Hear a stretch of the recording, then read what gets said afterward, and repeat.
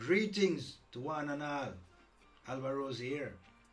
Well, if you know my passion and craft for vintage recording studio equipment, you also know that I own a great collection from various legendary studios here in Jamaica. Out of the same collection, I'm here to introduce to the world the Alborosie Dub Station, an effects plugin bundle in collaboration with AudioThing. My Alborosie Dub Station gonna step up your dub game forever.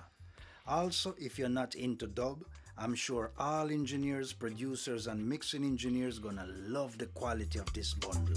The Alborosie Dub Station effects are sampled directly from the Shengen Studio Effect Collection and consist of a tape delay echo sampled from the legendary MCI 2 track from King Tubby Studio, Fairchild modified valve spring reverb from the king himself, and an Altec high-pass filter.